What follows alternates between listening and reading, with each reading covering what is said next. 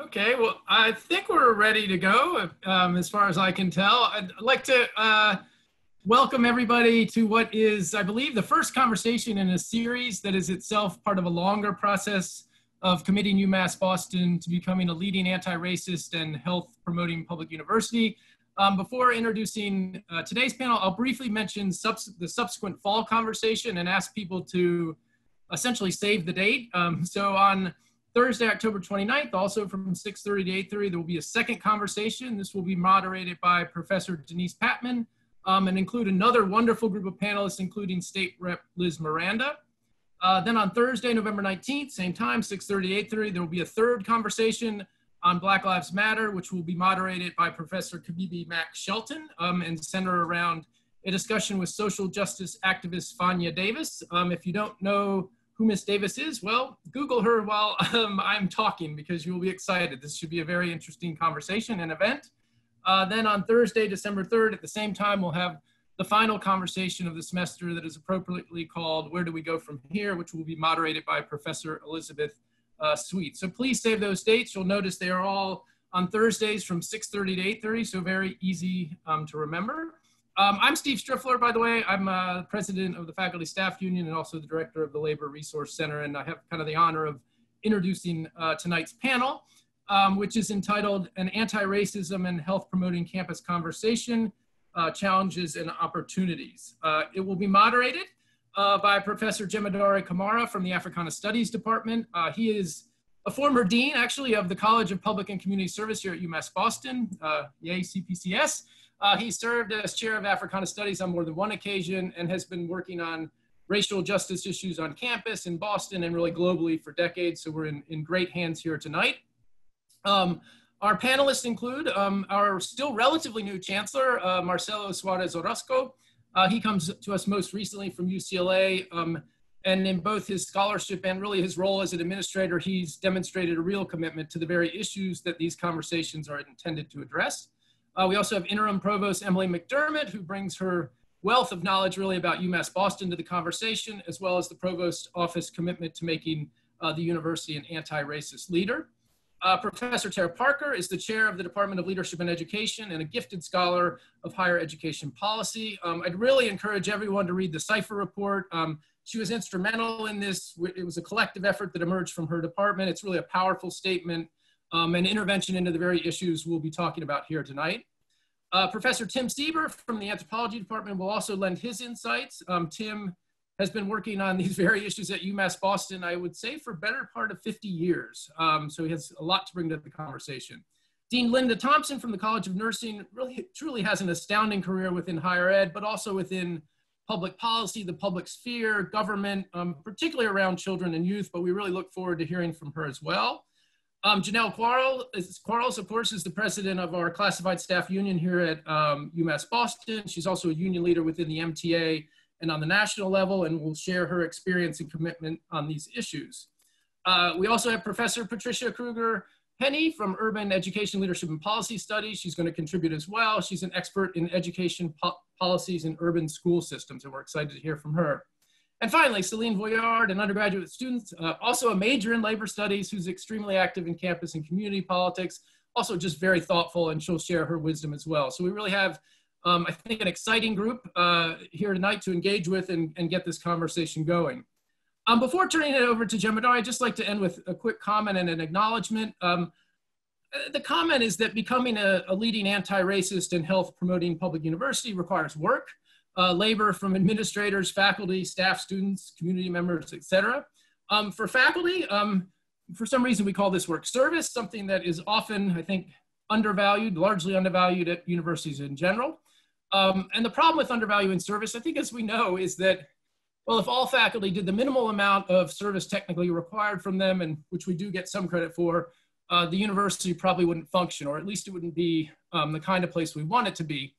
Um, and this is true for all faculty, but I think especially for NTT faculty who in some ways are often seen as just being supposed to teach. Um, and yet if they withdrew their service uh, tomorrow, the infrastructure probably of the university might uh, be in trouble. Um, and part of this problem, I think also we know is that the service burden that is keeping the university running is not shared equally. Women and faculty of color, and particularly women of color, do on average more service and their careers often suffer for it. I'm sure there are similar analogies with um, students and staff, but that's another discussion that are better raised by other people. I, I bring this up um, in part because the primary forces, and certainly not the only ones and not the only ones who have been contributing to anti-racism efforts on campus, but the primary drivers behind these campus conversations on race have been Keith Jones and Tony Vandermeer, two NTT faculty from Africana Studies who spent their summers really working on these issues and pushing the conversations that got us to these conversations and I think hopefully beyond. And I, I just mentioned this all of a way of thanks to Keith and Tony for all the really uncompensated work that's absolutely necessary for getting important things done, but also as, as to say that universities need to not only acknowledge, I think, hard work with a, a warm thank you, but with, you know, actual compensation. And, and this is partly about equity, of course, a topic core, I think, to this conversation, but it's also because I think initiatives such as this one, which is clearly a years long and absolutely vital process, will have trouble sustaining themselves if people simply become exhausted. Um, and I don't know all the work that Keith and Tony have done since and before George, George Floyd's murder around these issues on and off campus, but I, I have been sufficiently situated to know that it's been a colossal effort um, and that one can only be sustained with resources and resources that fortunately the university is beginning to dedicate, I think, in greater quantities to these issues, and I would just encourage that. Um, so with a final thanks to Keith and Tony, I now turn it over to Professor Jemadari Kamara. Thank you very much, Steve. I appreciate that background. I think it was very informative for all of those who have joined us this evening in our conversation. It is the crises that our community and our campus, in fact, our country has faced that has brought us to this moment. We are involved with a set of multiple crises, not only of campus conflict, not only of the contradictions in our political system, not only of COVID 19, but a complex and a very difficult situation for us all to navigate. We are confronting these, however, together and in conversation. Most recently, this past week, the Boston Globe had an article that focused on the set of contradictions that impacted the Boston Police Department. It focused on the question of structural racism within the department, as well as the issues between the department and the community. It's a complex nexus of structural issues that have impacted our community and our society for decades. I appreciate the work of so many on our campus. As Steve has referenced over this, this past um, set of months, to bring us to the point of confronting these issues very squarely. We have all heard the data, the facts, and the statistics that are of staggering proportion. But while these are necessary, they are insufficient in providing a, a background and a framework for the conversation. Because this is not about data and facts alone, it's about us. This is not just a discussion about the problem, it is what are the solutions? What are we going to do and out of this conversation, what will be our set of actions? There are a set of restorative justice initiatives that have been put forward. And among those, the first of which was the university stating that it is an anti-racist, health promoting institution, making a commitment to this, making a commitment to across our relative places within the institution, whether it be the administration or faculty or staff or students, to engage in a training process that allows us to speak to one another in a language we can all understand. This is a common platform. This is just an initial step, but it is the step of acknowledging that we are ill there is an illness in this country that has infected our campus as well. And we cannot heal until we acknowledge first the sickness and take the steps together. We must begin to see with new eyes. We must hear and listen with open ears. This is not a top down process. While administrative leadership is absolutely important, this is not solely a bottom up initiative with the many groups that have come together in conversation already this, this um, semester, over the course of the summer. And those of us who will be engaged in this process. It is both simultaneously working to engage this complex set of issues. In order for our conversations to work, in order to transcend simply an illusion of inclusion, we must begin to speak to policies and actions and have a set of principles for our conversation. The first of which is that this is about policy and leading us to action, but not about personality. Secondly, that there will be a focus in our conversation with the multiplicity of issues in which we're engaged, the focus on the question of structural racism and how can addressing this help us to build a healthy and a health promoting university? Lastly, in our conversations, we must exercise discipline discipline of respect for one another, shared ideas, and our time. And in so doing, I'm going to uh, cut my own time, and I'd like us to begin to move to our discussion of the evening. And we will open in the spirit of Sankofa, in Akan word that means literally to the way forward is to go back and to reflect that there are no errors which cannot be corrected. The reflection on the past. And in doing so, I'd like to hear the words of Miss Ella Baker, one of the unheralded leaders of the civil rights movement, who will share some ideas with us. And then we will have our new chancellor, Marcelo Suarez Orozco. One of the things about the question of racism that, or at least in talking to people, the question that frequently has come up recently with me is well, we are not guilty, personally. Of course, you're not. I don't know that there's anybody in this room has carried on a campaign of racism per se. But I doubt that there's anybody in this room who has not at some point been guilty of supporting a racist culture.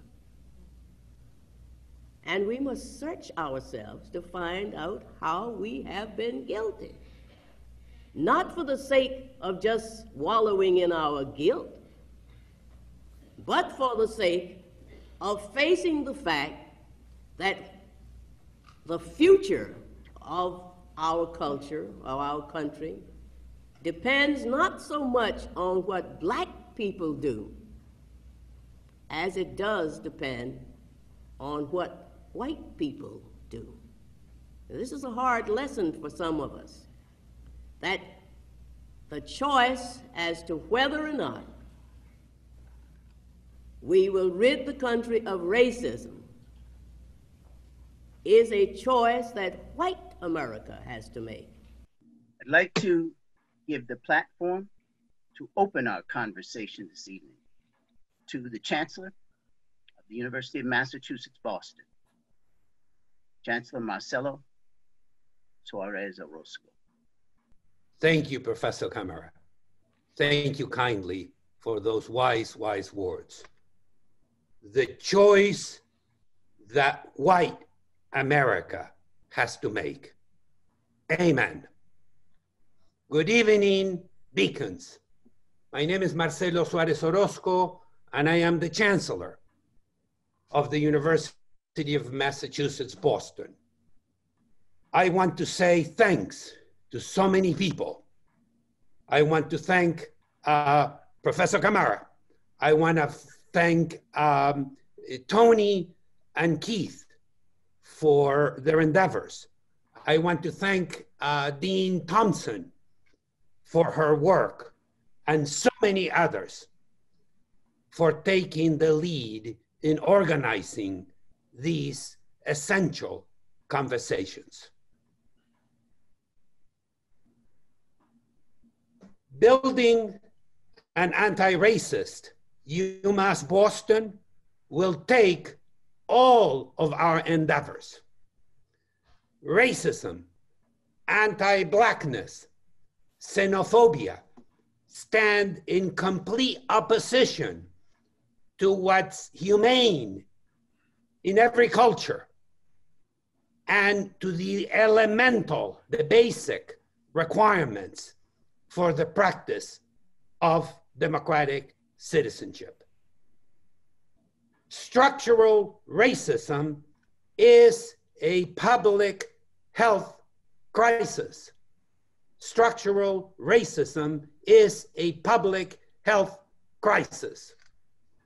As scholars in a public university dedicated to the practice of democratic citizenship, committed to social justice, we must reflect on our privileges and we must act in all we do against the systemic racism that impacts our community and the children and families and communities who we serve. We must address racism and anti Blackness as a crisis, as a health crisis, as a crisis that has invaded every domain of economy and society for the entire world to see. This impacts the daily lives and opportunities of individuals of color in our communities and in communities throughout the United States of America.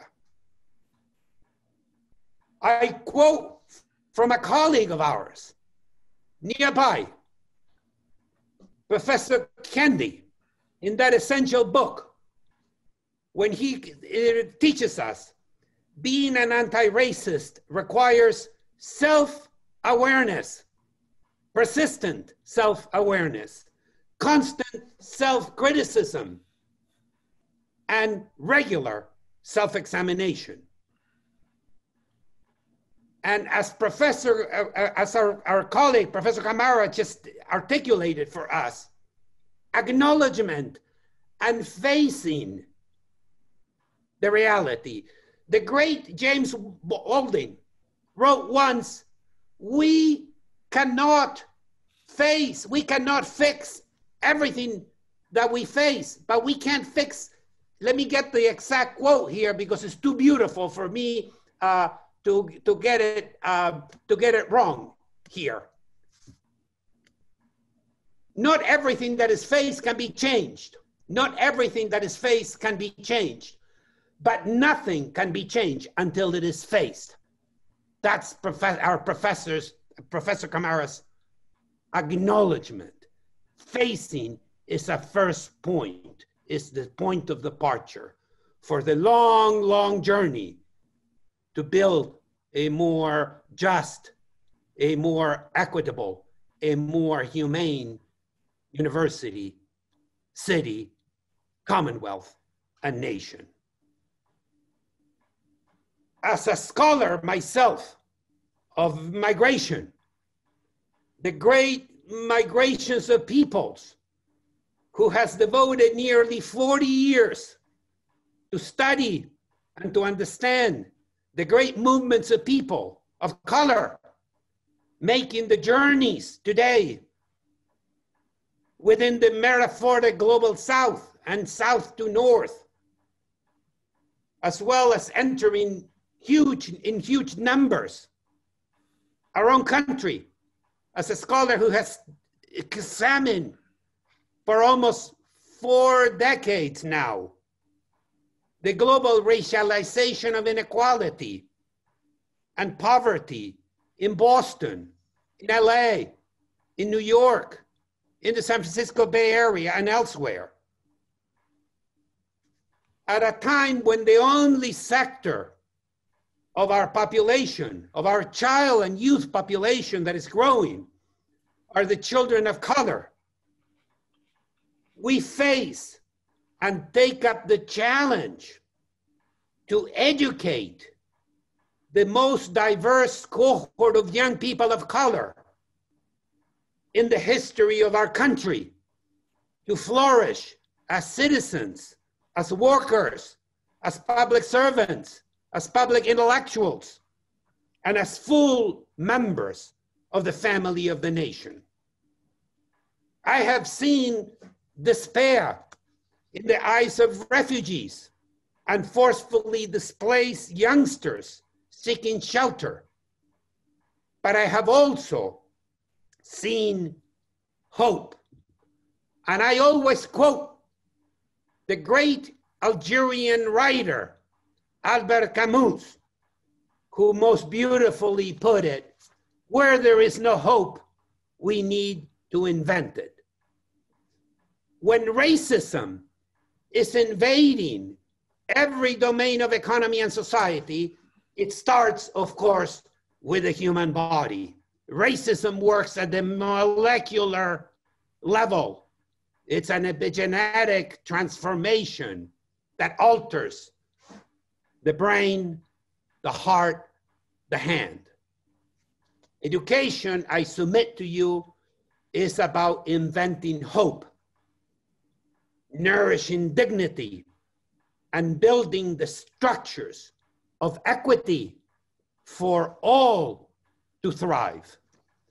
We must reimagine and re-engineer the narrative of belonging to the human family. We must reclaim the humanitarian call and rebuild the institutions, our institutions, as a sine qua non to move beyond what Professor Kamara beautifully called the disease, the malaise of our times.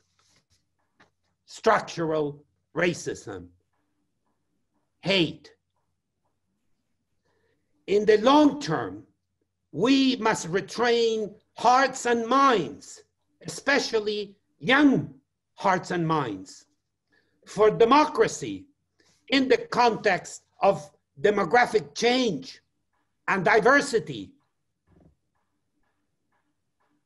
We need to convert the dread of the other into empathy, into solidarity, into a democratizing desire for cultural difference as essential to the work of democracy in, in, our, in our wicked, wicked times. We must en endeavor to cultivate the humanistic ideal, to find oneself in another, in the people of color, in our LGBTQ com communities, in our native indigenous brothers and sisters, in the refugees, in the asylum seekers, in the forcefully displaced. That is the challenge of higher education in these troubled, troubled times. Racism as a crisis of meaning, of purpose, of hurt, of the heart, of the soul.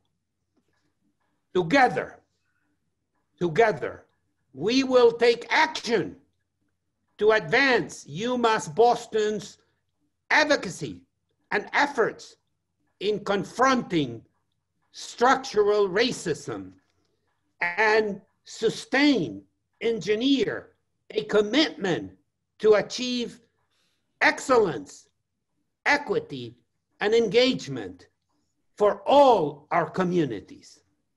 I thank you, colleagues, for your kind invitation I wish you a good, healthy exchange. And I look forward to my presentation of my participation, further participation at the next Sankofa gathering. I want to learn more from Dr. Skeeth, Tony, from our colleagues, Professor Kamara, from Dean Thompson, from all our, our, our colleagues about this existential work. Muchas gracias. Thank you. Thank you very much, Chancellor. Uh, I know you will not be able to be with us for the entire evening, but we appreciate your, your comments here and we know that you will be following our conversation both tonight and throughout the series. Thank, you. Thank you. you, sir. I'd like to, uh, before I introduce our, our next speaker, to uh, let people know that you can submit questions through the question and answer uh, button at the bottom of your screen. Uh, we will be fielding those following the initial presentations of our panelists. Our next panelist is the Provost of the University of Massachusetts, Boston, uh, Dr. Emily McDermott. Good evening, all. Um, it's always difficult to follow Chancellor Suarez Orozco, um, and I'm gonna. Um, I want to start with a, a personal anecdote, actually, um, in the spirit of self-examination on the issues of structural racism. Thinking about that topic of sys- systemic racism all over this summer, I, I keep remembering an, a thing that happened to me over 50 years ago when I was a young teenager in New York City. And my mother, my mother was born in Western Kentucky and came to New York to work. Uh, she met my father, who was born in Dorchester, um, Massachusetts, and came to New York to work. They they settled in New York and raised their family in New York, and so I grew up as a, a liberal New Yorker, basically. But one time when I was just old enough, I must have been 14 or 15, to be allowed by my parents to do some things on my own in New York City. I was in the Port Authority building in New York City, and I must have been going on a bus trip or something. I can't remember why I was there, but I was in a in in New York City, and I was wearing in my ears little earrings that my Kentucky grandmother had recently sent me as a present. And they were little gold dangly earrings with Confederate flags on them. They had come from Kentucky. I didn't think much about them except I thought they were very pretty. And I thought that they attached me to my Kentucky roots, which I really knew not much about, but I was, I loved my grandma. And so I was wearing these earrings as I sat in the Port Authority um, bus terminal, and a black man came up to me. And at first I was a little worried because I thought, you know, you never know what a guy coming up to you in the Port Authority bus terminal is going to say to you. Um, but I, I, I waited and he said, Do you know that your earrings are a racist statement? And I went, What? I was 14, I was 15. I was very naive, young, but I was smart. And when he went on and said, You know, you are wearing a symbol of slavery and you should be ashamed of yourself for that. And I, I was kind of floored by the whole thing, but I immediately saw that he was right. And I was embarrassed by my earrings at that point. I think I mumbled something about my grandmother. I don't remember anything more about the incident. But I took the earrings off. And when I went home, I thought, well, I had thought of these earrings as linking me to my Kentucky grandmother, my Kentucky aunt, people that I loved dearly, but only saw very rarely. But now that I had been made aware of how they were perceived by somebody else, and how hurtfully they could be experienced by somebody else, they, they weren't ever going to be the same to me again. Sadly, I put them back in their little gold box with cotton in it, closed the box, and never took them out again. And for me, that was a moment at which I really first noticed that things I did with no intention to be hurtful, certainly no intention to be racist, could be viewed as racist by others. And it, it was a, a stunning kind of revelation to me, and I thank that man for coming up to me at a very formative time in my upbringing to bring that to my attention. Over the next decade, this was in the 60s, over the next decade, I went through being shattered by the assassination of John F. Kennedy, and then Robert F. Kennedy, and then Martin Luther King. I protested, I went to Washington. Um, I marched on Washington twice. I fasted against Vietnam. I protested against the uh, Bobby Seale trial in New Haven. I, I was very alert at that point to various issues, but even as I've kept those liberal sorts of political ideologies, I've been aware frequently over my life that there are moments when you just don't know what impression you're giving to someone of a different race. That you might say something that you mean one way and it's totally carelessly thought through by you, but you, it can be taken some other total way by another person or another group of people. And I think that's the kind of perception that a university absolutely needs to be giving to all students who come into it at a formative age. And a formative age could be 28. I mean, I'm not saying everybody's going to come in at 18 to the university, but everyone who comes into a university comes into it in a large sense to be formed. They may think they're coming to get a better job. They may think they're coming for a basic union card that's going to help them get, get a better um, leg up in life. But from our point of view as educators, they're coming to be formed, and we want to form them in a way that makes them notice. Makes them notice if they are themselves being structurally racist, if they see others doing things that are structurally racist, and how to how to look at society and figure out how to create or invent, as Chancellor, um, as the Chancellor said, to invent that hope that we all need um, to have right now in order to continue on and continue with our mission to educate our students and to provide for a more socially just society in general. I think I'll stop there at this point. Thank you very much, Provost McDermott, for those thoughtful comments.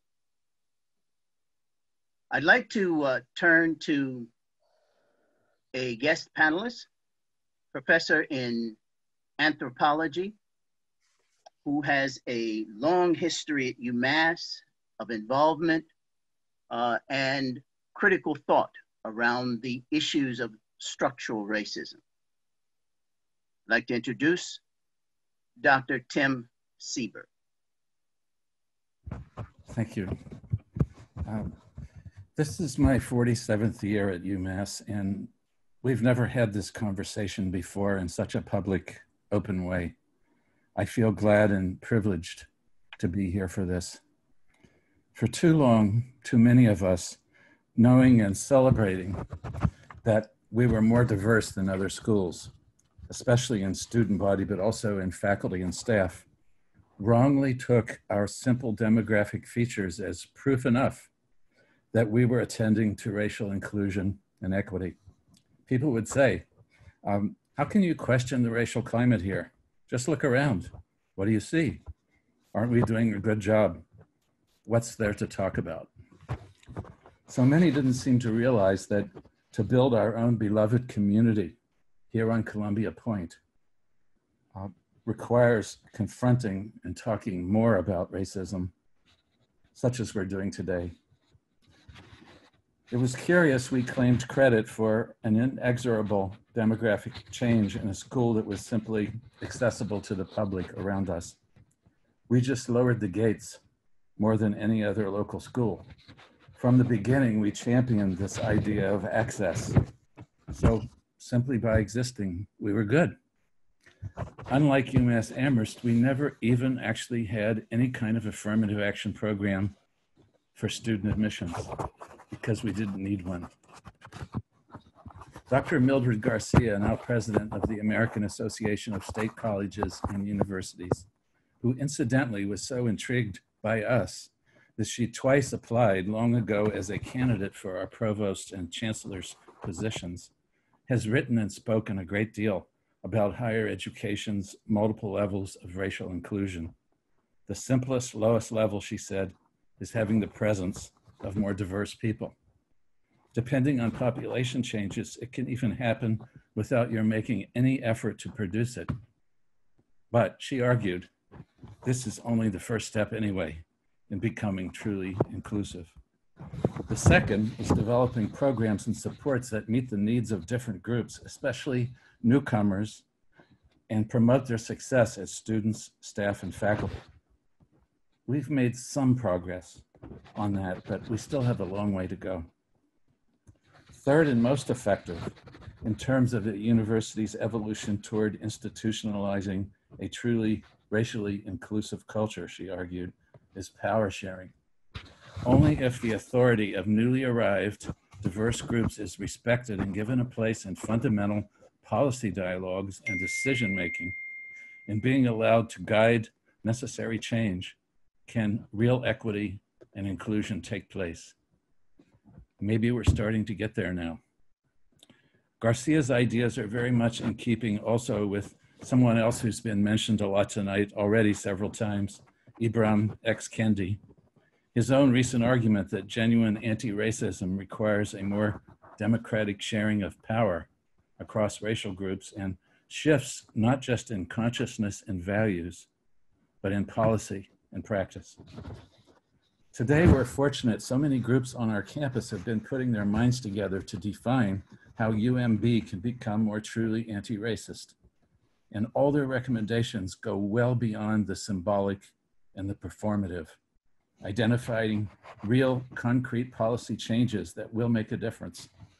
The Africana Studies Department, for example, has long been advocating a 16 point restorative justice initiative and it offers solid, relevant guidance.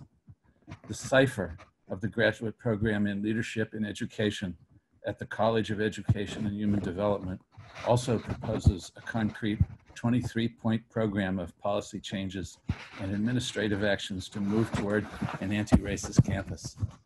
Other groups with ideas and ready to collaborate include the Multi Spoke Undoing Racism Assembly, formed by Africana Studies together with the campus unions, the Academic Continuity Task Force, CANALA, the Faculty Council, the Black Faculty and Staff Caucus, the Latino Coalition, the Faculty of Color Group, and the UMB Student Coalition. We're well poised and prepared to join together to take action. Of course, we need to become anti-racist not only internally for ourselves, the 20,000 UMB community members when you count both students and employees together, but also so that we can play a leadership role in our city and region. Chancellor Suarez Orozco recently stood up for our campus in this way in multiple media appearances that have happened recently. We also appreciate Provost McDermott's support for our effort, and we also know that the new provost who will follow her needs to be a strong partner in this effort. We all need to step up to this leadership role because we're truly a community engaged university with literally thousands of partnerships with nonprofit organizations, associations, and governmental entities, and a rich set of more than 50 policy institutes and centers that offer valuable research and consultation to those partners. And of course, there are our students. They too come from the city around us. As a public urban university, we need to realize that the public, our students, and our neighbors are one and the same. This gives us special multifaceted responsibility toward them that private universities do not have. The students who we prepare here are already there in their communities around us, already growing in their leadership, hopefully also anti-racist with the help of models they see reinforced here at UMass Boston. So we have a big responsibility for ourselves, but also for others. Once before, between 1979 and 1982, UMass Boston joined and actively participated in a broad citywide coalition on behalf of racial justice. It was called the Covenant of Justice, Equity, and Harmony, together with hundreds of universities, faith communities, and nonprofits, all to support Boston's school desegregation order. We can and should play this kind of courageous, anti-racist public role again. This unique historical juncture in the pandemic remind us that our opening, our time to tell the truth, to focus our vision and to act doesn't last forever. Now is the time for listening to one another, for agreeing upon and taking needed steps, and for meeting the challenges and opportunities of this special historical moment we are all living through.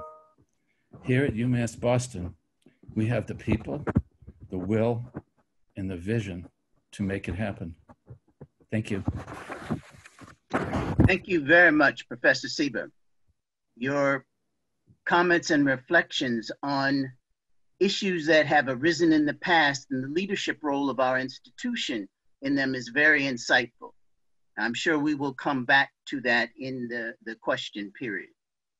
Uh, I'd like to ask our, our panelists as well, uh, when you have your mics on to be very careful so that uh, any papers or other sounds in your background uh, do not get picked up as we move forward.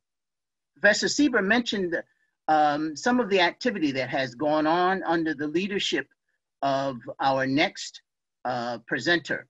Uh, uh, the chair of the Department of Leadership in Education, uh, Dr. Tara Parker.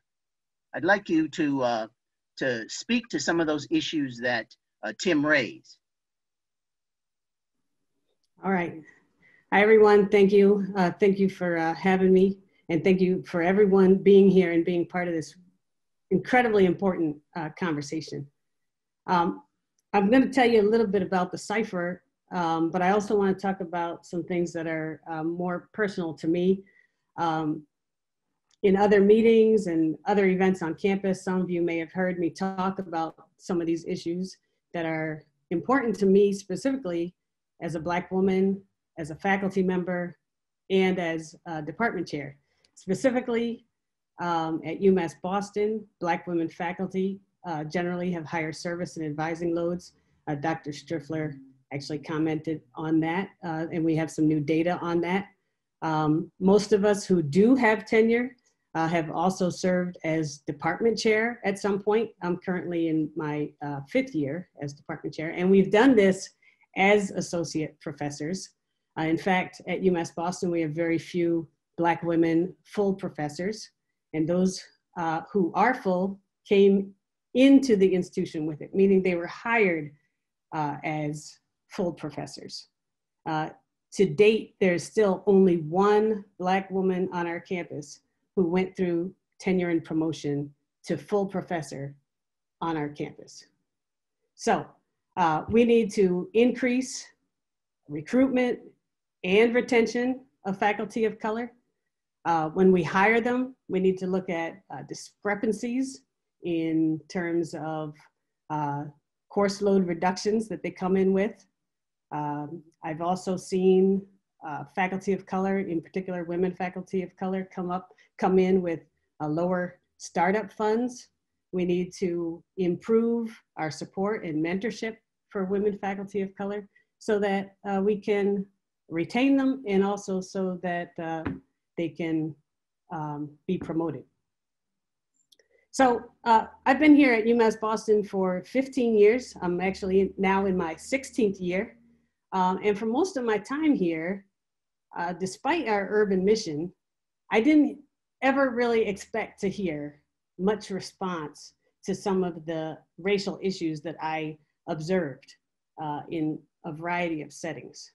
Uh, even though we have this urban mission and even though we have such a large uh, population of students of color, in a lot of ways, we're still a predominantly white institution in terms of our operation. Um, so again, I, I, I wasn't really uh, surprised when I would be in meetings, uh, particularly uh, in terms of uh, search committee meetings, when former staff from our own Office of Diversity and Inclusion emphasized to all the uh, participants in the meeting that it was more important to consider a diversity of thought rather than diversity in terms of race and ethnicity. Or the time when I first started as department chair and a former faculty member, he, he's no longer here, but when I said that we were going to emphasize in our department um, increasing the racial and ethnic diversity of our faculty, uh, he, he pushed back on me and said that uh, white men were underrepresented. And then there were times when uh, I was on search committees and I heard lots of talk about uh, lack of fit or the difficulty of getting faculty of color here because you know, Boston has this history of racism, so people of color don't really want to come here and it's so expensive and blah, blah, blah, blah. Um, and then there were times when we settled for a pool of candidates that was not racially and ethnically diverse. And we said, oh, we just couldn't get them to apply. But then we didn't look at our own recruitment efforts. Did we actually go out to find them? um, because a lot of times we like to say, oh, there's just not enough PhD people of color, PhDs in this field. But we're not out there looking. They are there, but we're not actually going out. And we have to hit the ground and actually uh, do the work. And so here we are at this moment in this movement for racial justice. And on our campus, I'm happy to see there's so much discussion about race and racism. And nearly everyone I've spoken to, everyone I've heard from, because I get a lot of emails, uh, in every meeting that I've attended, I've, I've felt like there's really a lot of support for these conversations. Most of us agree that we should pay more attention to the need to be an anti-racist institution. But my concern is, how committed are we to really getting down and dirty to identify the racism that exists on our campus? Are we really interested in learning about the ways that whiteness is deeply ingrained in the academy as a whole and specifically at UMass Boston. Again, despite our urban mission and despite the fact that uh, we are one of the most diverse institutions in New England.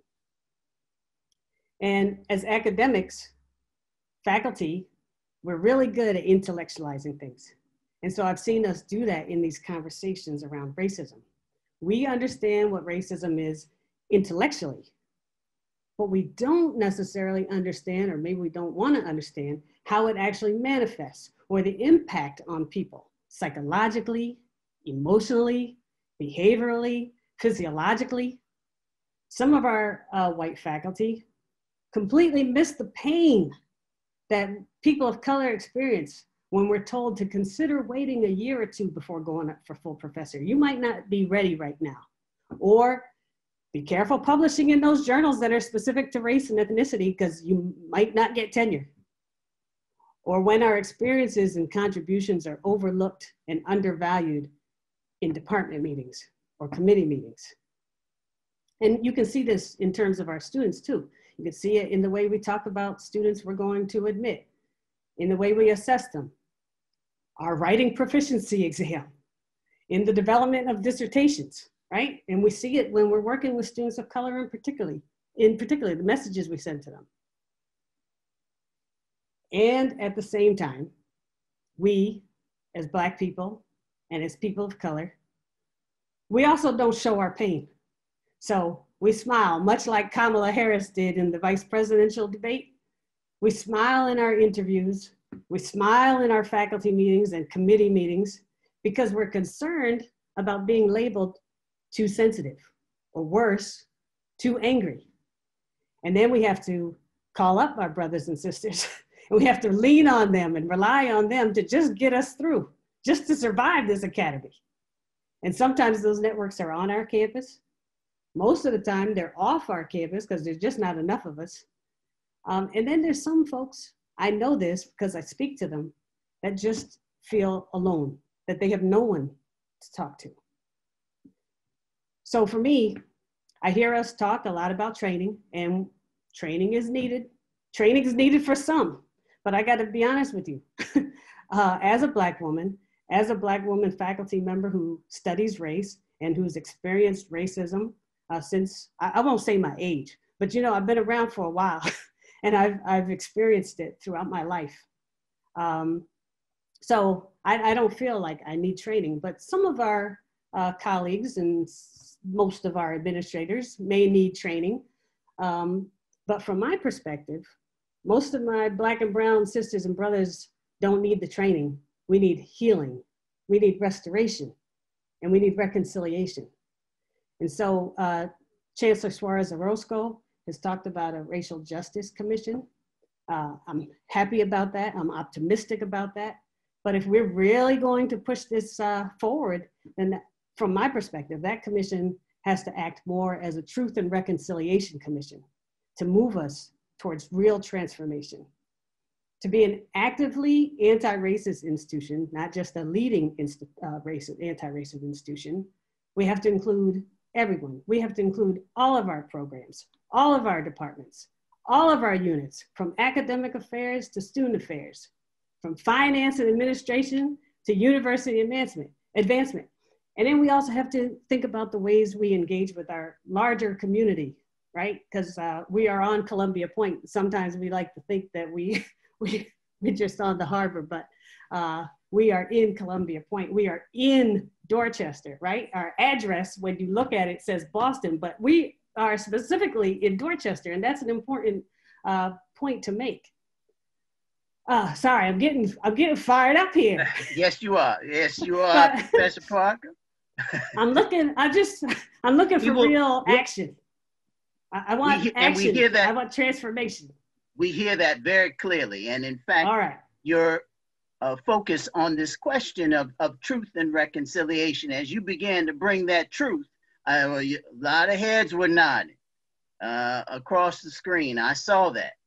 Uh, and before we can get to reconciliation, we have to deal with truth. We have right to on. deal with that pain that you talked about.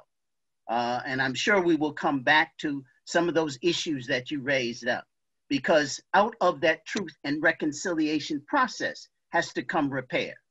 And how do we get to that repair? We don't deal with the healing of the pain that you spoke of.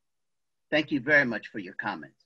All right, thank you. Uh, you also, however, spoke about the breadth of uh, those who've been involved, even up to this point in our conversation, as um, uh, Steve did in our introduction. And I'd like to bring forward uh, Janelle Quarles, who is the president of our classified and staff union.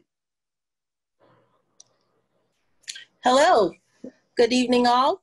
Um, I am very happy to be part of uh, these conversations tonight.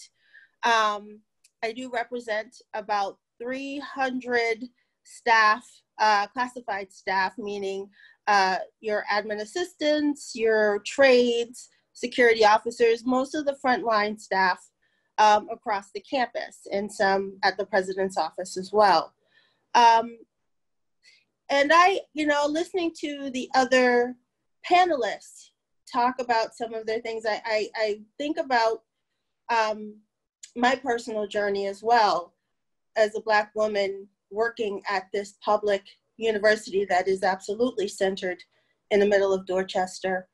Um, as many know, my my mother worked at the university. She was actually a student at Boston State University and a student worker there. And when the uh, two institutions, Boston State and UMass Boston, merged, she came over with the merger and worked for more than 40 years um, with the Division of Continuing Education, which you know has different name changes over the years, CAPS and CCDE.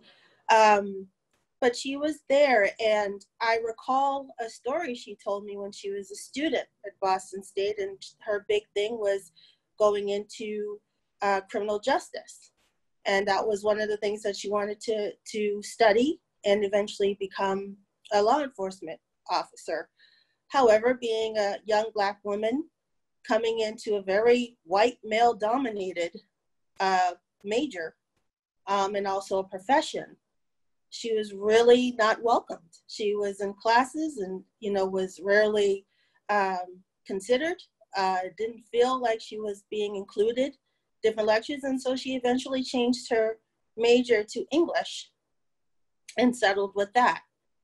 Um, and then for years, I would hear her come home or have, when she come home and tell me stories or share stories of different struggles where she had to stand up for herself and really had to, um, you know, become a bit aggressive and, and because if not, her superiors or some even some of her coworkers would be very nasty to her um, for one reason or another. Um, and she just did not want to shrink into a corner. And I would listen to these stories and think, oh, that that you know they're terrible, and you know that's not going to happen to me. And of course, as a student at UMass Boston, I definitely experienced experienced some racial some some some racial exchanges um, and I was stick I stuck to it as a student and I made sure that I stood up for myself and then even a decade later becoming a staff member at UMass Boston, I experienced the same thing as a staff with the superiors.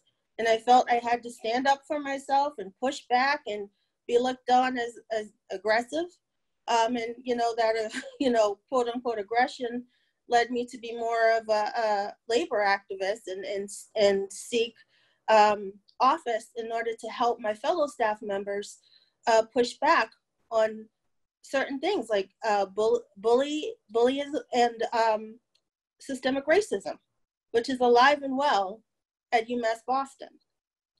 And it's really unfortunate because my naivete always thought a university is, you know, an institution where you can have a free exchange of ideas and sort of learn more about yourself, learn the real history of things, was a way of, of getting academic and you know freedom.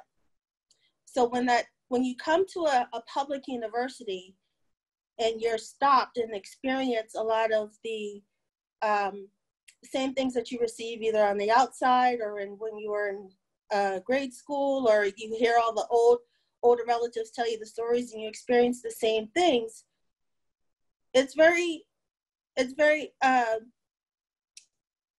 it, it you you wonder why you want to keep going.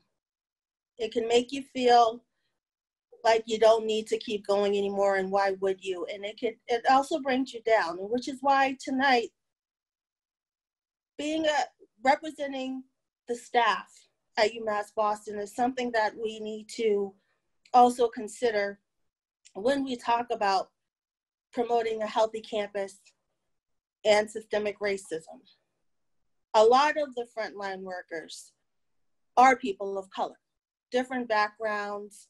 A lot of them are women, you know, uh, you know, raising children. They come here, they either want a second career or they want to continue their education or pursue their education and they want their children to do the same. And it's very um, unfortunate that some of them are leaving because they don't have the support that they have from either the administration or some of their coworkers or their department heads. And it's um, it's it's unfortunate that we're here in the middle of an urban of an urban setting and the university touts an urban mission but they certainly don't they certainly don't live up to it and as a staff member i think that i am i feel like sometimes an outlier in that when i am doing my job and i'm doing my union work um, that it i wonder why with so much animosity and sometimes i have to push back at work both in my regular job and on the union side what makes me keep going. And i have to remember that my mother these stories that she told me and in spite of all that she kept going and i don't know how many of my of my fellow staff workers especially people of color have these things to look back on and have these things to to keep them fighting where they should not have to fight so hard. The fight is real outside of the university and around the country. And the fact that we look at the news and still get out of bed and keep going is one feat in and of itself. But then to come to a place like UMass Boston, which promises what looks like on the outside could give us so much hope and take us so far, and we should be as we call ourselves beacons. we should be true beacons, leading the charge on promoting diversity, fairness, you know, social awareness, and you know, and and being this front runner and sort of looking at the other institutions, be they public or private, and say, what is going on with you? Come join us. It's really unfortunate that we're behind. And you know, how do we begin to to change this? And uh, you know, we also as staff have to deal with the fact that we're looked at as expendables. A lot of the the higher up the which we like the faculty, you know, when when we're not the ones bringing in the research, bringing in the dollars, you know, it's we're really looked at as, hey, you know, you you should be here, you should be happy to have a job, and you should keep your head low and keep going, which is really inhumane when you think of it. But that is what a lot of our staff members hear. And when you think about the people of, of, of color who work here, who go to school here and got their degrees here, many of our CSU staff have advanced degrees and want to continue their learning and, and look at UMass Boston for those for those um, degrees, and they're still not looked at as part of this university, as people who actually give their lifeblood to this university and contribute. You know, we, we, we may not be the ones bringing in all the research and all the research dollars, but we certainly interact with the students that come through day in and day out. We, we make connections with them that keep them here. We have students who come from all over the world. So then when the holidays come around, they're not able to go home and be with their families. We take them in to be with our families.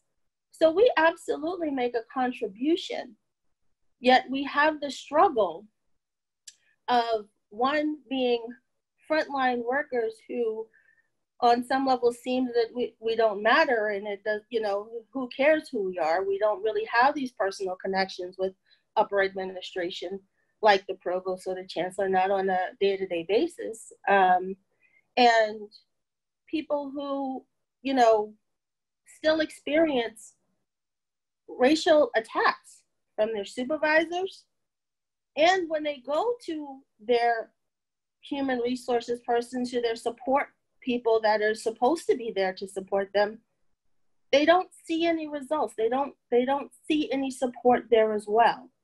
And I don't say that to mean that people are being intentional in how they re- react to these things or how they approach, but systemic racism is put into is it's it's it's built in.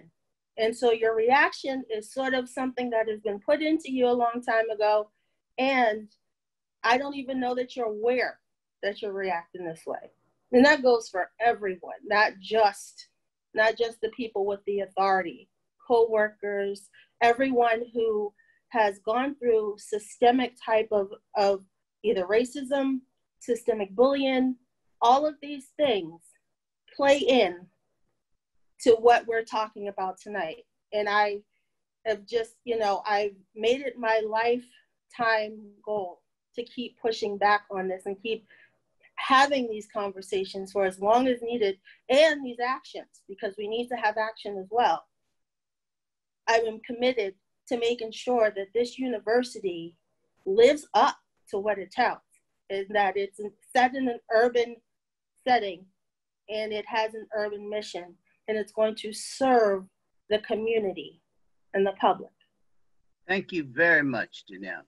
You've raised up some critical issues and, and contradictions, the questions of hierarchy uh, within our institution, the animosity that is felt, uh, and some of the triggers uh, that impact uh, staff across the institution.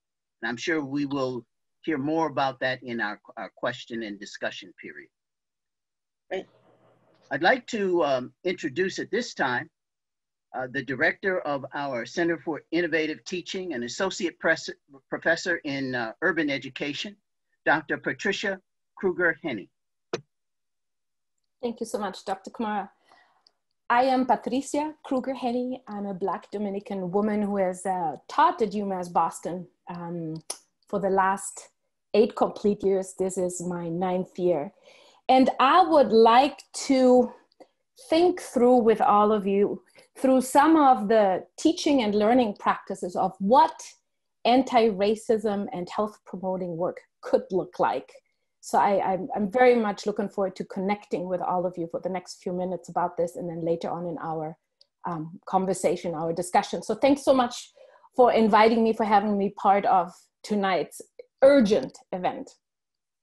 I'd like to just uh, open by quoting some of James Baldwin's work because I really think it situates uh, poignantly uh, the intention of this conversation.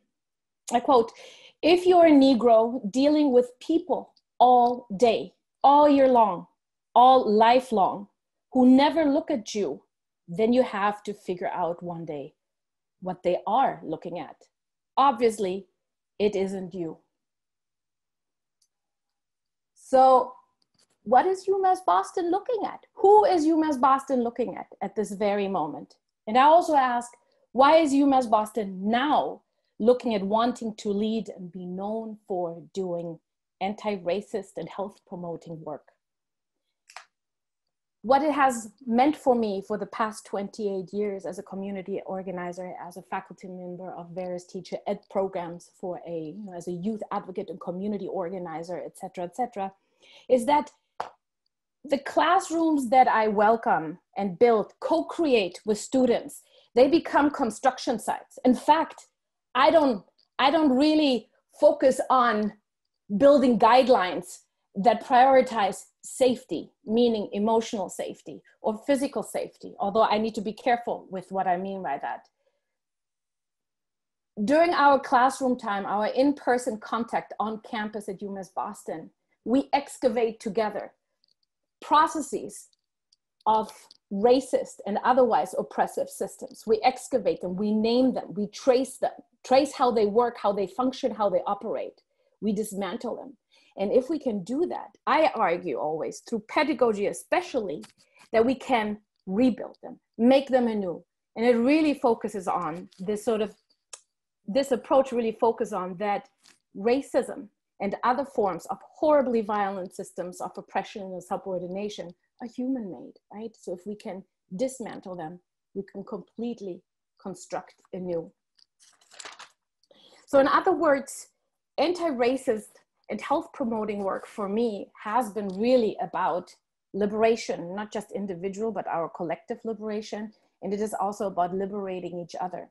So I do this work ongoingly with students at UMass Boston, but also with wonderful colleagues through the Center for Innovative Teaching at UMass Boston. And so I wish right now to share with you um, a moment of perhaps uh, a moment of, of this anti-racist and health promoting work, what does it look like in action? Um, I'd like to share that with you. And if we were together in person, I could show you a map of this work or how this work, work has been mapped. So what I do, I will do instead is I will read a description and perhaps you can, maybe you need to close your eyes, but I just welcome you to be open to these words of students. And I situate this work of body mapping um, in circumstances how white supremacy, anti-blackness, and anti-black racism is really a disease, is one that causes ongoing public health crises among targeted bodies. So under these ongoing and chronic conditions of the disease, young people have written, students have written that in sickness, I'm starting to read now, the forehead is tagged with pressure and stress, while two large teardrops are flowing from one eye, with three ribs running on either side of the rib cage. This black woman attached one of the following labels to each one drama, insecurity, trapped, fear, denial, and anger. Her heart is small and carries tiny letters that spell hope. Her spine holds her to be hopeless. The left arm is marked with upset and betrayed, while the right arm is tattooed with weakness and lost. The hands meet in front of her and hold a book that she crossed out. Her waistline is tightened by mistrust. Her left thigh reads scarred and the right thigh scared. Her toes point to the side, bringing her ankles together. They are chained together, and an arrow points at their bondage. We also visualize what practices, what knowledges trigger our liberation, but more important, our cure, our practices of healing, um, remedies, right? So a cured body, the same young woman, a cured body, one that is freed from anti-blackness, racism in education, could look like this. Again, I read from her narrative, from her map. We regularly, sorry, in its cured state, freedom runs across her forehead. Her now smiling face does not make way for any tears. Both arms are raised one signaling hope, the other success. The heart is now visibly larger and filled with hope. Four ribs compose messages of secure, strong, truth, heal. Voice holds her waistline, white, while guidance and action run across her thighs. Her ankles are no longer linked together in bondage. And she recommends us to speak up, to be heard, to transfer, to make a group and educate self and others. I will close now with just a few words of wisdom that UMass Boston students have taught me and that I have to incorporate in my ongoing anti-racism health promoting teaching practices while at UMass Boston. Number one, that this work, that this commitment is not performative, but rather it needs to be authentic. Two, we need to question deeply the following. In what ways is the sudden urge to become an anti-racist and health promoting university potentially productive for the next phases of racial capitalist development? Or in what ways does this institution-wide call to anti-racist action duplicate what liberal multiculturalism has accomplished in the 1980s, meaning that the desire to grow into more diversified campuses, a campus was absorbed by hegemonic university policies and practices. Three, I courageously ask, what if UMass Boston's anti-racist and health promoting practices and knowledges inhabit institutional spaces in ways that UMass Boston never intended? So lastly, I also look at tonight as an opportunity to ask the following. What is UMass Boston willing to give up so that minoritized differences and knowledges can thrive without becoming the function of a racial neoliberalism, of racial neoliberalism in public higher education? And I'll leave it at that. Thanks so much. And I really look forward to our next speaker, who we need to listen to really carefully. Thank you very much, uh, Professor Krueger Henney. Uh, you have raised some issues. In fact, your students have raised questions that need to be addressed as we open our conversation. We have two more speakers, uh, and then we will engage in that conversation. We have questions that are already coming in that we want to put on the table, but you have raised several issues, particularly this question about what bodies of knowledge trigger liberation. the, the questions your students are raising are challenges to all of us. Uh, our next speaker is in fact a, an undergraduate student at UMass. And I would like her to speak for herself, Ms. Celine Voyard. Hello, um, I, yeah, my name is Celine. I go by she, they pronouns, and I am a junior majoring in labor studies and a member of um, the UMB coalition, um, student coalition. Um, and so something that I would just like to say, you know, I would hope for in future cases, there'll be more student voices. Um, but something that I just wanted to say in terms of what my hopes are and expectations are when I have, when I'm entering into or getting an education, um, is one that I would be able to be supported um, academically, uh, socially, um, emotionally, and even financially to function in society when I graduate. And that second, that my education would be able to equip me uh, with tools needed to change society for the better. And so as our current rea reality sits, um, with the BLM movement um, ringing the alarm to reopen um, and re-emerge the types of struggle um, since the civil rights movement and even decades before then, uh, the type of struggle that is rooted in seeking freedom, Black liberation, and at most to legitimize uh, the humanity um, of Black lives that can't be done um, in the current state that UMass Boston is in. Um, but more than anything, I think, and let me preface, when I say Black liberation, uh, that in extension, when the Black person is free, when all Black people are free, that in extension um, frees anyone who's a part of the BIPOC community, the LGBTQ plus community, those of the working class, um, uh, immigrant communities, women, and so on and so forth. Um, and so, you know, I, I really do look forward to, I want the conversation, the discussion part to start. Um, so I really do look forward to talking about the many ways that we can have an anti-racist and health promoting campus. Um, and yeah, yeah, I really look forward to having the conversation. I'm going to cut myself short. Uh, but yes, thank you. Thank you for letting me uh, participate in this. Thank you, Celine. We want your comments as we lift up our dialogue and discussion uh, session in response to the questions. We certainly want to hear your voice in response to the issues that are being raised.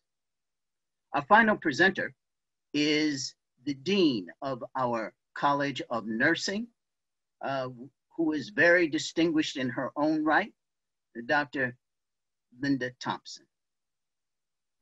Good evening, and thanks for asking me to be a part of this uh, dialogue to talk about the concept of promoting, health promoting uh, universities. And Celine, it's just so wonderful that you're here, and I just really cherish the fact that you had the courage to come and and be with us this evening and to share your perspective.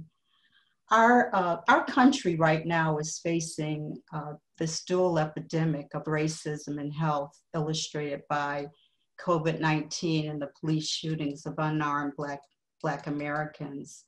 So racism, both individual and structural, is, is deeply, deeply ingrained in the social, political, and economic fabric of our society, with adverse outcomes to individuals and communities of color for African Americans, Native Americans, Latinx, Asian Pacific Islanders, and other communities of color. This results in unequal access to social and economic opportunities such as quality education, a livable wage and employment, healthy food and stable and affordable housing and safe and sustainable communities.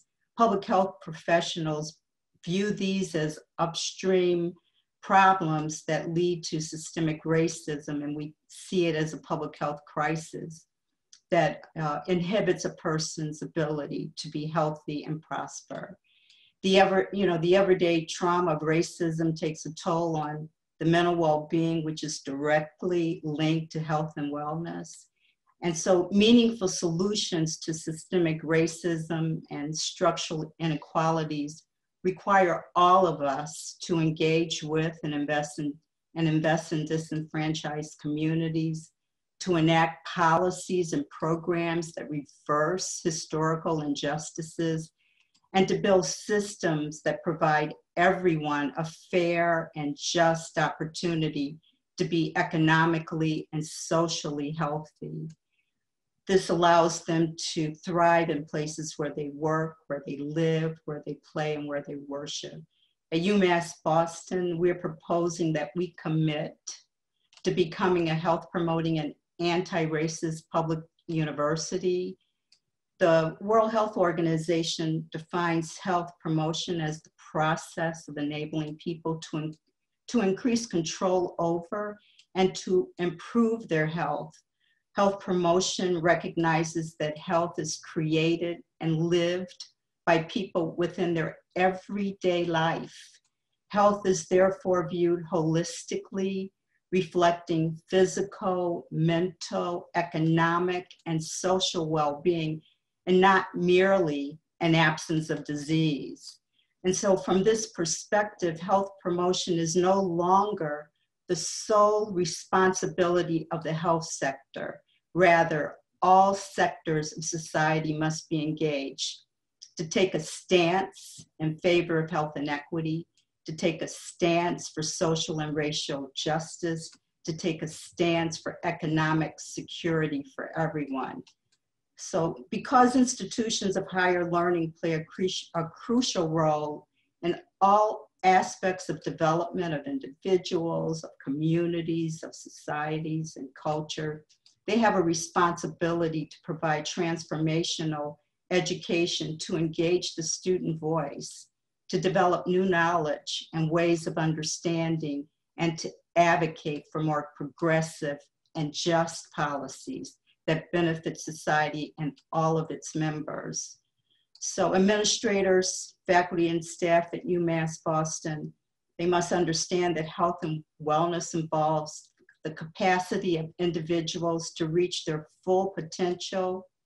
That capacity and potential historically has been compromised by racism, especially anti-Black racism, this historical systems of, of oppression causes immense mental and physical stress. And we have problems accessing healthcare. And what we've done is separated communities from their historical and cultural, ancestral healing traditions that were, um, you know, that you see in the, in the diasporas. Our framework for health promotion and and anti-racism is grounded in the belief that Black lives matter and that Black lives and communities deserve access to affirming and culturally appropriate health promoting practices, policies, and systems. So as this, at, at our institution, we want uh, UMass Boston, Boston to commit to a holistic view of health that sees historical structures of, of oppression and domination as, uh, as racism, and we need to solve some of these his, historical inequalities, they're urgent, and there's a dire need to promote the health and well-being of all of our faculty, our staff, and our students. So what we're proposing in this, this strategy is to embed health and wellness in all policies, all of our academic programs, and in our engagement with communities.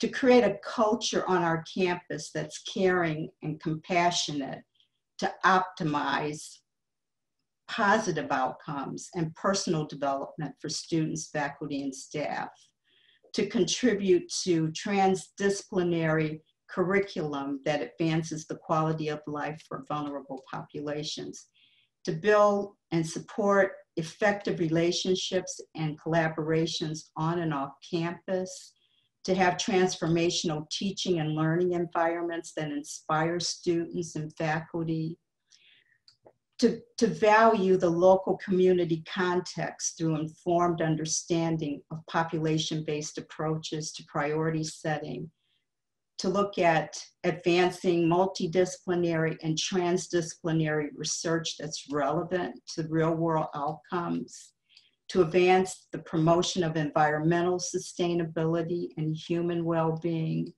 to co-create a vision for our campus using a participatory approach involving all stakeholders and to focus on everyone's strengths and their assets to fully develop people. You know, I believe that we should support the right to health for everyone. This is enshrined in the UN Declaration of Human Rights that talks about social justice, equity, dignity, and respect for everyone. So just in closing, I want to quote the, the late Congressman John Lewis, who wrote, when historians pick up their pens to write the story of the 21st century, let them say that it was your generation who laid down the heavy burden of hate and that peace finally trumped, triumphed over violence, aggression, and war. So I say to you, walk with the wind, brothers and sisters, and let the spirit of peace and power of, of, of everlasting love be your guide. Thank you.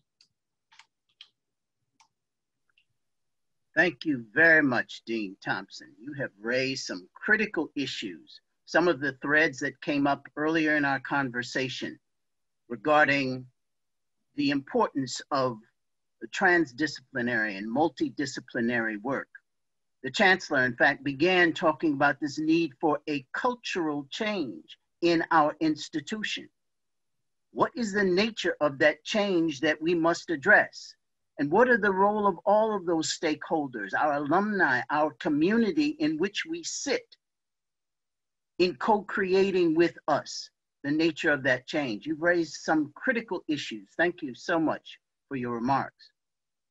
We've received a number of questions, uh, and I'd like us to, to move quickly to them, uh, being cognizant of uh, our time and uh, that which remains for us to really engage with those who are listening with us. To do so, I would like to um, put together a couple of questions and then allow you to respond. So if you take some notes, I'll read the questions to you and then allow our, our panelists to uh, discuss uh, your responses to these. We have one question that says, education is not the great equalizer as for many reasons. But critical to this are the ways in which education continues to reproduce racist ideology and false narratives about communities. How is UMB decolonizing curricula and reassessing faculty, um, narr faculty narratives about communities? How is UMB not only reassessing the curricula, but assessing the faculty to support an anti-racist environment. A similar question that has followed is, are there efforts to understand and address internal, internalized oppression at UMB? Like you to respond to those. who would like to respond? I'll go. Okay, Celine?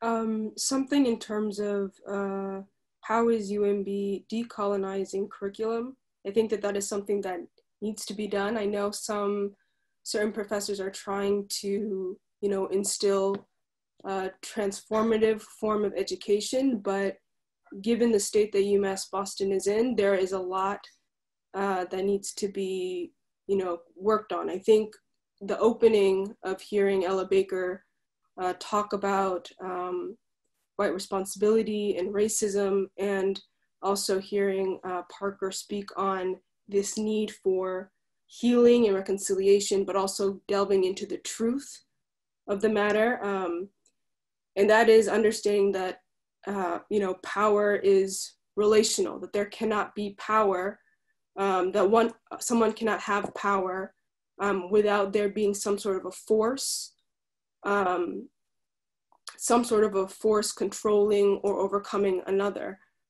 Um, and so understanding that white supremacy is you know, embedded within the individual as well as within the institutions, higher education being one of them, um, it gives us the time today to now reflect on how education should be changed and how UMass Boston, uh, being that it is an urban institution, uh, being that it does have an urban mission, that it should follow that.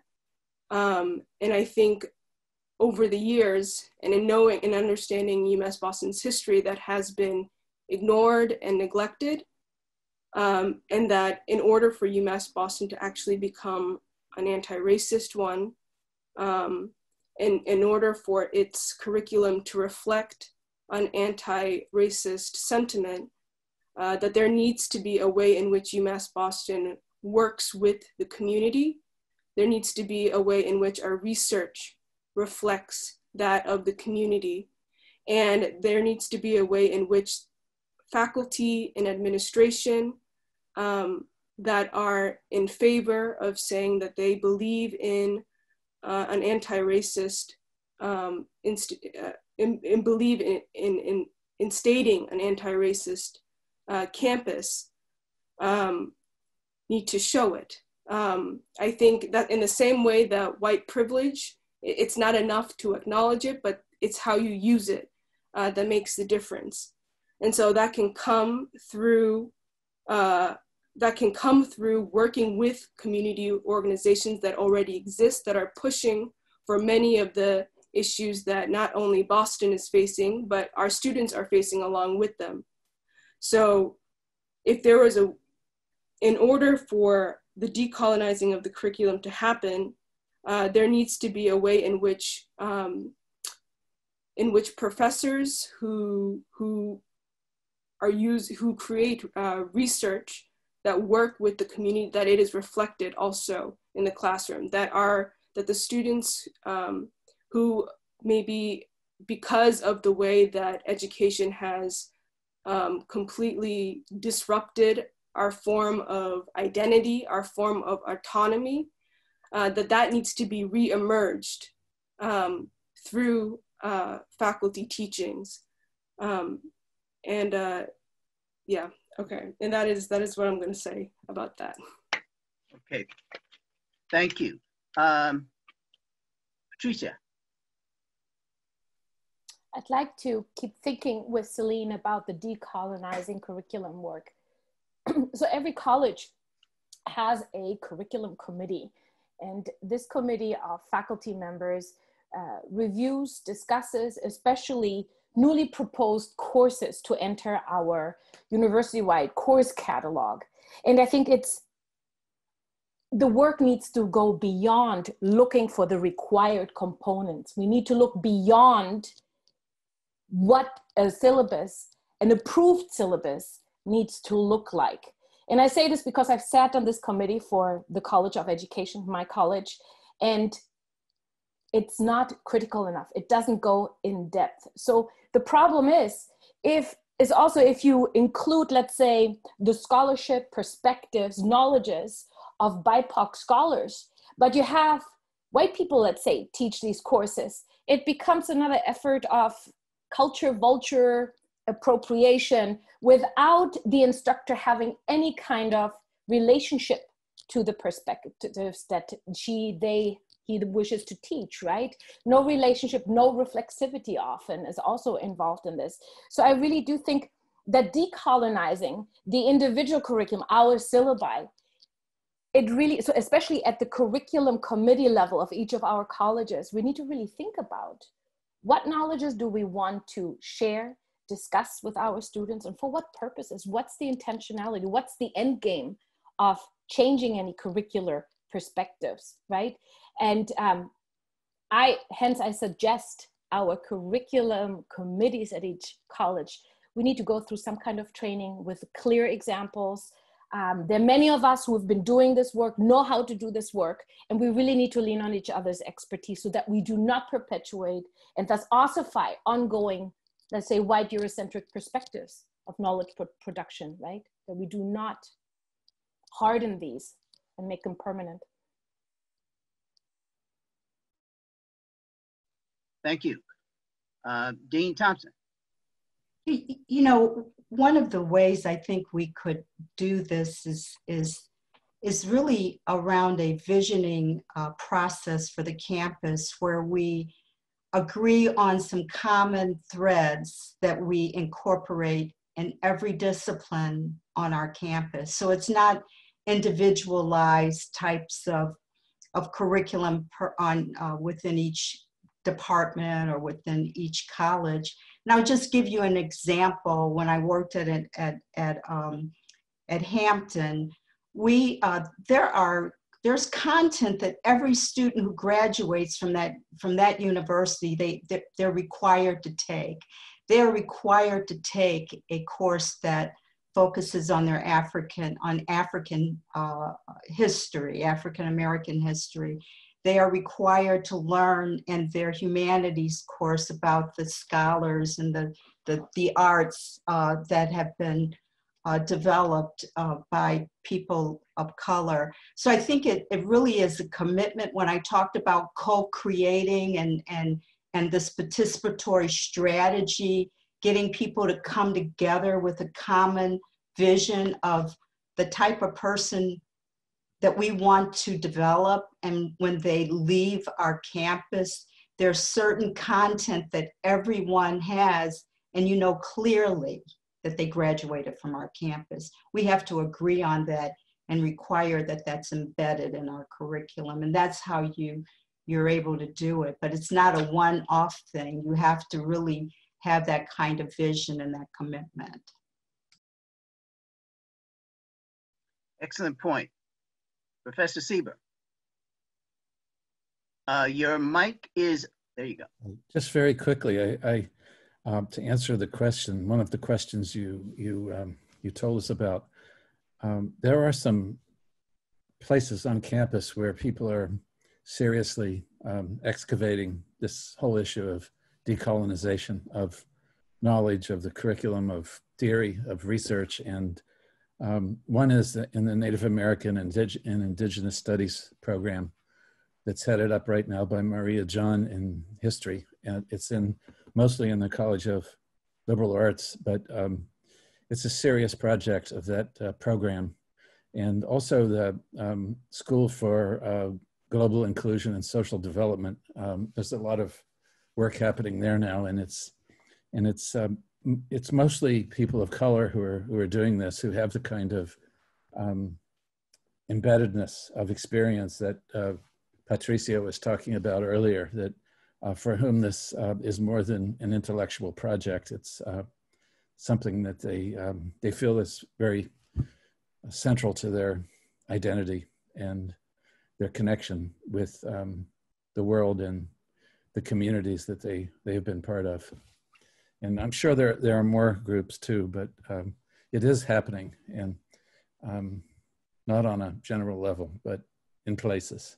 Thank you. On this particular question, as the moderator, I, I have been very disciplined in keeping myself out of the conversation. However, I must interject one point here. I will simply say that if we're considering this question of decolonization, I strongly believe that form follows function. And if we are proposing an alternative function of decolonization within our institution, we need to challenge the nature of the form, the structure, the organization of the current academy. And is it the structure that we need in order to implement a different kind of vision and mission? But we have um, other questions, and I'd like to move to those. Um, Here's another uh, question, and there is a linked component to this. Um, it states, it seems to me that there is a lack of meaningful inclusivity in our school.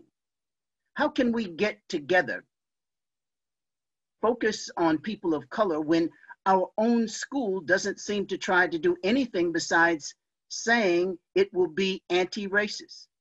Just calling ourselves anti-racist is cheap talk if there is no implementation in our courses and our programs. It seems like people of color students are used more to bolster the school statistics of diversity rather than trying to fix what's wrong with how we treat race. And there's a critique, in fact, of wanting to be even more involved in our process here of engagement uh, with the questioning process. Additionally, there is a, another question which says, how, how do I, as a student, talk to a professor about the wrong language they use toward my race when it has happened more than once and I've already corrected them a few times? How do I engage the professor. Would like to uh, answer either of the components of those questions? Celine, yes, thank you. I'm gonna, I'm sorry, I'm a bit nervous, so sometimes I think I'm not saying You're doing just fine. Okay. Um, I do agree uh, that, you know, the in terms of the first question, um, I think that UMass Boston, the potential of what it could be um, to go against um, generally how the how um, academia is portrayed is that because we are a public institution and because of the communities that we serve, it could be um, an infrastructure to prepare um, a mass of Black students and, and of course, um, everyone in between. Uh, and by extension, like I said, um, the BIPOC community, and so on and so forth, um, for long-term resistance and collective decision-making or governance. But that can't happen um, if we are, um, if for one thing, there isn't a space where students feel um, that they can, you know, find some place that they can identify with and speak on whatever issues that they are facing, um, where their interests can be met where there is a space for them to either um, empower or educate or agitate or mandate interests that you know best suit um, their identity um, and uh, and so okay i'm sorry i might i'll have to come back i'm a bit nervous you're doing just fine you're doing just fine would anyone else like to comment? I can add something. Um, and yes, Celine, you're doing great. In fact, I'm gonna uh, just pick, pick up on a little bit of what you were saying. Um, there's been a little talk of uh, uh, the cipher, so I, I wanna just uh, mention that quickly because I think it helps to address this question. Um, when uh, earlier in the summer, uh, immediately after uh, George Floyd's murder, I sent an email to the entire department, faculty, staff, and students, and saying basically, talk is cheap, right? We've had a, a social justice mission in the Leadership and Education Department for 30 years. Um, and I think we've uh, done a really good job of demonstrating that commitment. But we can do a lot more, and we could do a lot more towards really advancing racial justice. And so that's why we came together in the cipher.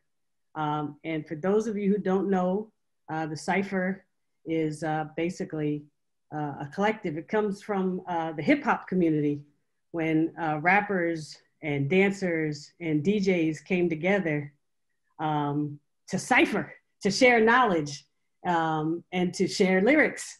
And so that's what we do as an academic community of faculty, staff, and students. And in the cipher, there's there's no hierarchy.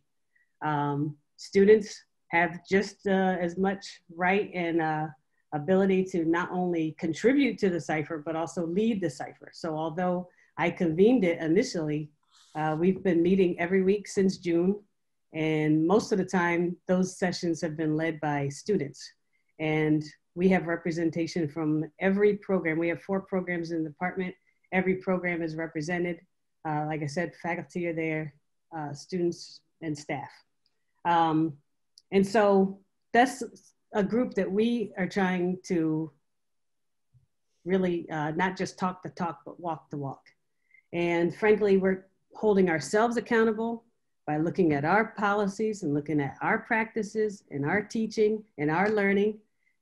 And someone else mentioned this, so I just mentioned that um, in the discussion, in fact, it was the students who said, hey, you know what?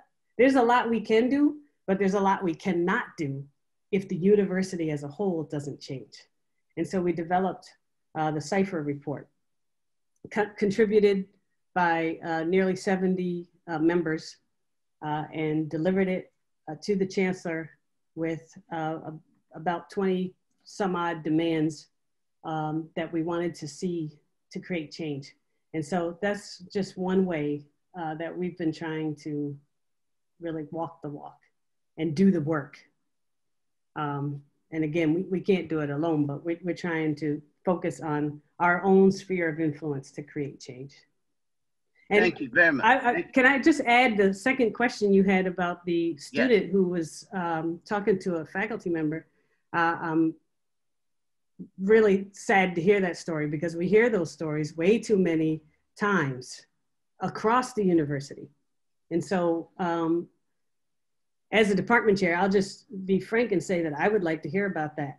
If, uh, if a student is going to a faculty member and they're not responsive, um, then I would want to know about it.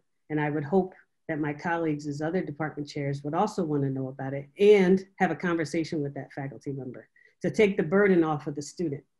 And we have to do more of that too. We, we have to uh, call our, our faculty, tenured, non-tenured, tenure track, it doesn't matter. We need to also, as department chairs, talk to our faculty and our faculty colleagues have to hold each other accountable. So that's my advice to the student. Could I Thank you very much. Jemadari, could I jump in? Yes. what yes. Tara said? I, I think she's absolutely right that the student who who feels that a faculty member is in some way not hearing what they're saying. I mean, obviously you speak to the faculty member first, but if you if you're not getting anywhere from talking to the faculty member about it, then you go to the department chair.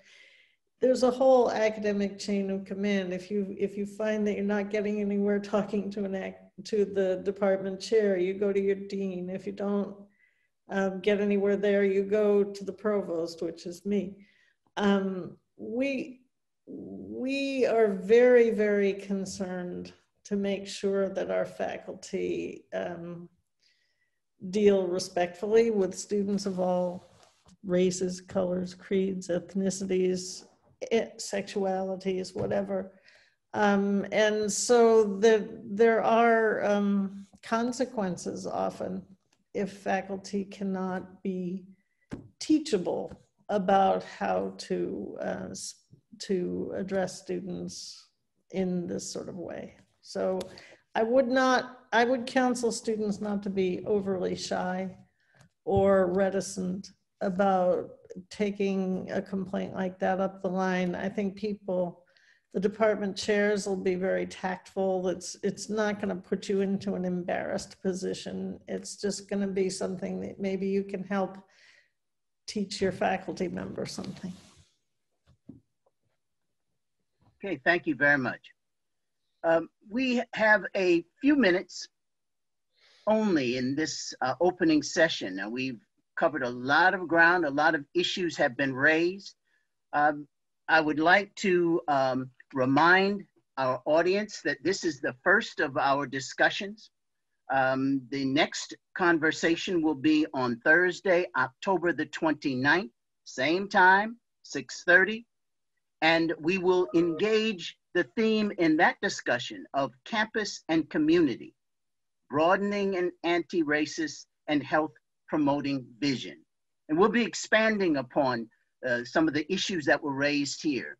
I'd like to give our panelists, however, 30 seconds in closing. There's been a lot of challenges raised, but I'd like you to address in your 30 seconds as we close, we will go back in the same order we began, of what are the two most important opportunities facing our campus now? What are our opportunities? Provost McDermott. Well, you know, I'm sure other people think of, of, of other opportunities that may be more um, absolutely to the point, but the opportunity I feel I have some say over is who gets hired as our faculty um, over the next couple of years. And, and I am, um, I think the way that you move from being racist is by, by bringing your faculty more into line with your student body. The racial composition of the faculty should be more in line with the racial composition of the student body. And so we're very committed right now to um, to ways of redressing some of the issues Tara mentioned specifically um, about faculty uh, being able to hire and retain faculty of color, uh, promote faculty of color, mentor them through to um, tenure and promotion and and those are the things that I'm very um, committed to.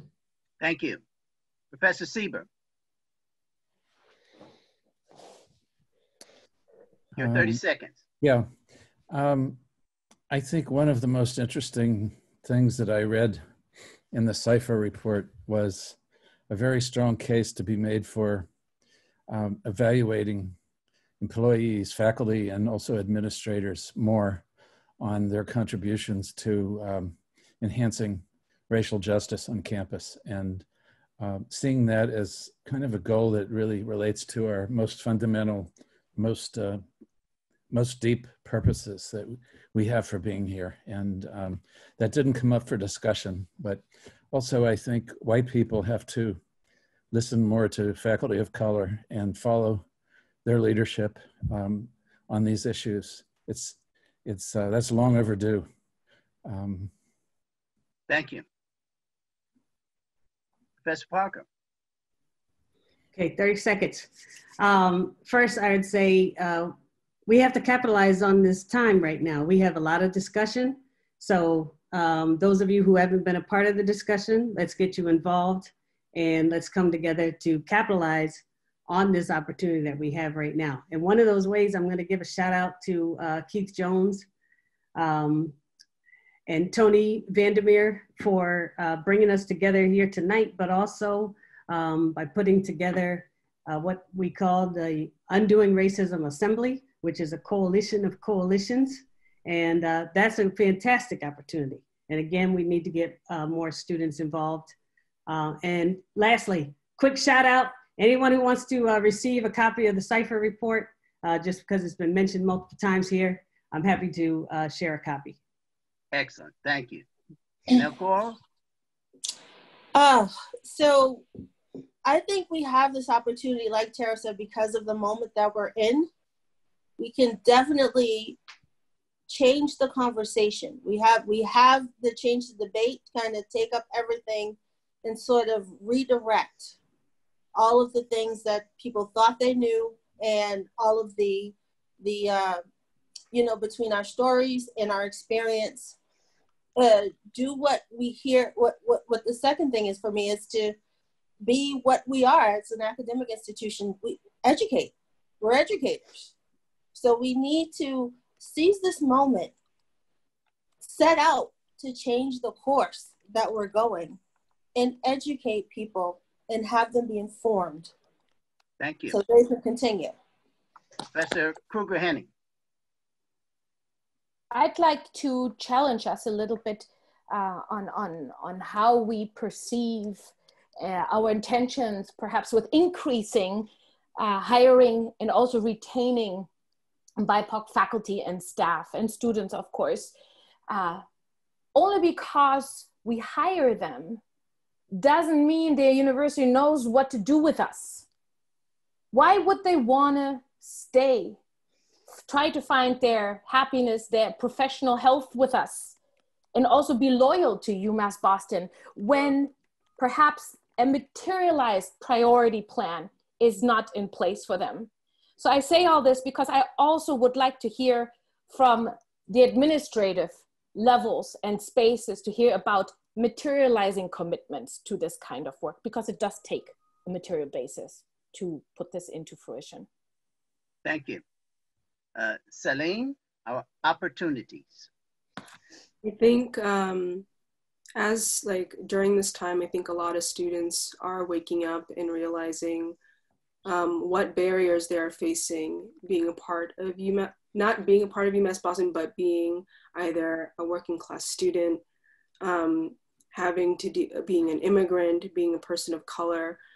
Um, so I think this is the time again uh, to take this opportunity um, for students to join in other student groups, join in the UMB coalition, um, and make spaces where they can actually um, be a part of the decision making process.